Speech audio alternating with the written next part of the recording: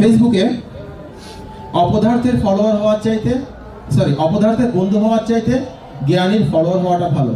অনেক কিছু শেখা যায়। এটা আমার লাইফ থেকে বললাম, নিজের লাইফ থেকে। আমরা কি আর কিছুক্ষণ থামবো?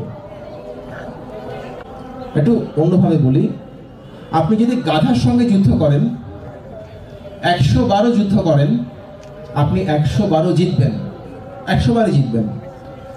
আর যদি সিংহের সঙ্গে যুদ্ধ করেন একবার যুদ্ধ করলে হেরে যাবেন।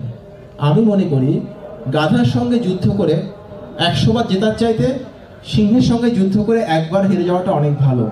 অনেক কিছুই শেখা যায়। ফাইট করবেন আপনাদের চাইতে, আপনার চাইতে যারা যোগ্যতায় বড়, তাদের সাথে।